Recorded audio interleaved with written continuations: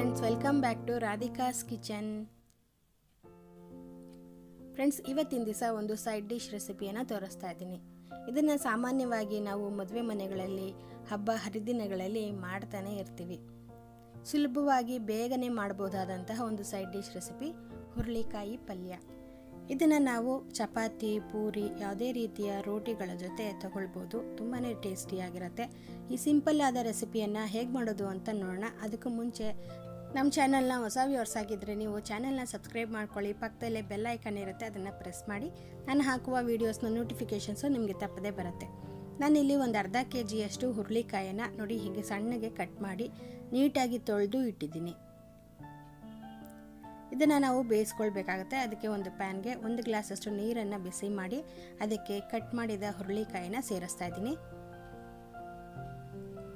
ನಂತರ ಇದಕ್ಕೆ ಒಂದು ಅರ್ಧ ಟೀ ಸ್ಪೂನಷ್ಟು ಉಪ್ಪನ್ನು ಹಾಕಿ ಹುರುಳಿಕಾಯಿ ಸಾಫ್ಟಾಗಿ ಬೇಯೋವರೆಗೂ ನಾವು ಬೇಯಿಸ್ಕೊಳ್ಬೇಕು.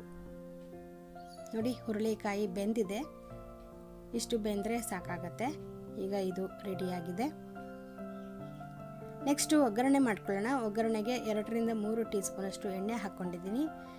ಒಗ್ಗರಣೆಗೆ ಎರಡು ಈರುಳ್ಳಿ, ಸ್ವಲ್ಪ ಕೊತ್ತಂಬರಿ ಸೊಪ್ಪು, ಹಾಗೆ ಖಾರಕ್ಕೆ ತಕ್ಕಷ್ಟು ಹಸಿಮೆಣಸಿನ್ಕಾಯಿ ಒಂದು ಅರ್ಧ ಬೌಲ್ನಷ್ಟು ತೆಂಗಿನಕಾಯಿ ತುರಿ, ಎರಡು ಕಡ್ಡಿಯಷ್ಟು ಕರ್ಬೇವಿನ ಸೊಪ್ಪನ್ನು ತೊಗೊಂಡಿದ್ದೀನಿ.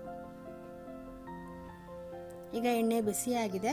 ಈಗ ಇದಕ್ಕೆ ಒಂದು ಅರ್ಧ ಟೀ ಸ್ಪೂನಷ್ಟು ಸಾಸಿವೆ ಕಾಳನ್ನು ಸೇರಿಸ್ತಾ ಇದ್ದೀನಿ. ಸಾಸಿವೆ ಸ್ವಲ್ಪ ಬಿಸಿಯಾಗಿ ಸಿಡಿದ ಮೇಲೆ ಇದಕ್ಕೆ ಒಂದು ಟೀ ಸ್ಪೂನಷ್ಟು ಕಡಲೆಬೇಳೆ, ಒಂದು ಟೀ ಸ್ಪೂನಷ್ಟು ಉದ್ದಿನ ಬೇಳೆಯನ್ನು ಸೇರಿಸ್ತಾ ಇದ್ದೀನಿ. ಕಾಳು ಸ್ವಲ್ಪ ಕೆಂಪಗಾಗಬೇಕು ಅಲ್ಲಿ ತನಕ ಇದನ್ನು ಫ್ರೈ ಮಾಡ್ಕೊಳ್ಳೋಣ. ಇದು ಸ್ವಲ್ಪ ಕೆಂಪಗಾಗಿದೆ ನೆಕ್ಸ್ಟ್ ಇದಕ್ಕೆ ಎರಡು ಚಿಟಿಕೆಯಷ್ಟು ಇಂಗನ್ನು ಸೇರಿಸ್ತಾ ಇದ್ದೀನಿ.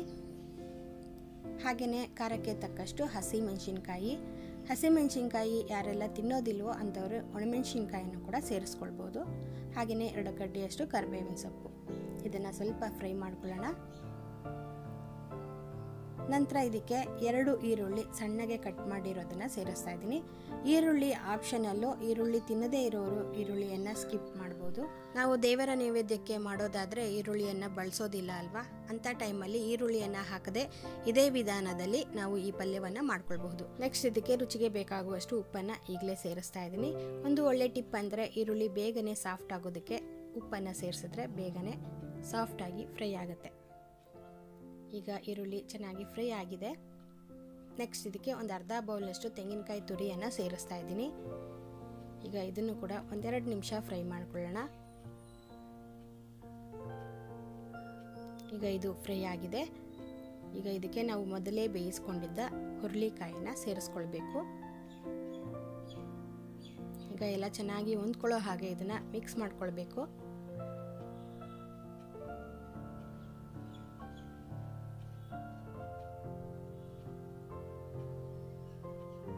ಈಗ ಇದು ಚೆನ್ನಾಗಿ ಮಿಕ್ಸ್ ಆಗಿದೆ. ಇದನ್ನ ಒಂದೆರಡು ನಿಮಿಷ ಮುಚ್ಚಿಡೋಣ. ನೋಡಿ, ಚೆನ್ನಾಗಿ ಎಲ್ಲ ಹೊಂದ್ಕೊಂಡಿದೆ. ಈ ಟೈಮಲ್ಲಿ ಬೇಕಿದ್ರೆ ಉಪ್ಪು ನೋಡಿಕೊಂಡು ಹಾಕೊಳ್ಬಹುದು. ಈಗ ಇದಕ್ಕೆ ಕೊನೆಯಲ್ಲಿ ಸ್ವಲ್ಪ ಕೊತ್ತಂಬರಿ ಸೊಪ್ಪನ್ನು ಸೇರಿಸ್ತಾ ಇದ್ದೀನಿ. ಹಾಗೆ ಇದನ್ನು ಒಂದ್ಸರಿ ಮಿಕ್ಸ್ ಮಾಡ್ಕೊಳ್ಳೋಣ. ಫ್ರೆಂಡ್ಸ್, ಟೇಸ್ಟಿಯಾದಂತಹ ಮದುವೆ ಮನೆ ಶೈಲಿಯ ಹುರುಳಿಕಾಯಿ ಪಲ್ಯ ರೆಡಿಯಾಗಿದೆ. ಈಗ ಇದನ್ನು ಸರ್ವಿಂಗ್ ಬೌಲ್ಗೆ ಸರ್ವ್ ಮಾಡೋಣ. ನಾವು ಸಾಮಾನ್ಯವಾಗಿ ದಿನನಿತ್ಯ ಚಪಾತಿಯನ್ನು ಮಾಡ್ತಾ ಇರ್ತೀವಿ. ಯಾವ ಪಲ್ಯ ಮಾಡೋದು ಅನ್ನೋ ಯೋಚನೆ ಇದ್ದಾಗ ಹೀಗೆ. ಸಿಂಪಲ್ ಆಗಿ ಹುರುಳಿಕಾಯಿ ಪಲ್ಯವನ್ನು ಮಾಡಿದ್ರೆ ತುಂಬಾ ರುಚಿಯಾಗಿರುತ್ತೆ. ಕಡಿಮೆ ಇಂಗ್ರೀಡಿಯೆಂಟ್ಸ್ನ ಯೂಸ್ ಮಾಡಿ ನಾವು ಈ ಪಲ್ಯವನ್ನು ಮಾಡಿದ್ವಿ. ಇದನ್ನು ನಾನು ಚಪಾತಿ ಜೊತೆ ಸರ್ವ್ ಮಾಡಿದ್ದೀನಿ.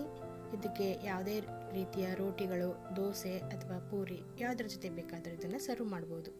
ತುಂಬ ರುಚಿಯಾಗಿರುತ್ತೆ. ಫ್ರೆಂಡ್ಸ್ ವಿಡಿಯೋನ ನೋಡಿದ್ರಲ್ಲ? ಹೇಗನ್ನಿಸ್ತು? ನಿಮಗೆ ಈ ವಿಡಿಯೋ ಇಷ್ಟ ಆಗಿದರೆ ಲೈಕ್ ಮಾಡೋದನ್ನು ಮರಿಬೇಡಿ. ಹಾಗೆ ಕಮೆಂಟ್ ಮಾಡಿ ತಿಳಿಸಿ ನಿಮ್ಮ ಅಭಿಪ್ರಾಯವನ್ನು. ನಿಮಗೆ ಯಾವುದೇ ರೀತಿಯ ರೆಸಿಪಿಯನ್ನು ನೋಡಬೇಕು ಅನ್ನೋದಾದರೆ ನೀವು ಕಮೆಂಟ್ ಬಾಕ್ಸಲ್ಲಿ ತಿಳಿಸಿ ನಾನು ಅದನ್ನು ಮಾಡೋದಕ್ಕೆ ಪ್ರಯತ್ನ ಪಡ್ತೀನಿ. ನಿಮಗೆ ಈ ರೆಸಿಪಿ ಇಷ್ಟ ಆಗಿದೆ ಅಂತ ಭಾವಿಸ್ತಾ ನಾನು ನೆಕ್ಸ್ಟ್ ರೆಸಿಪಿಯೊಂದಿಗೆ ಭೇಟಿ ಮಾಡ್ತೀನಿ.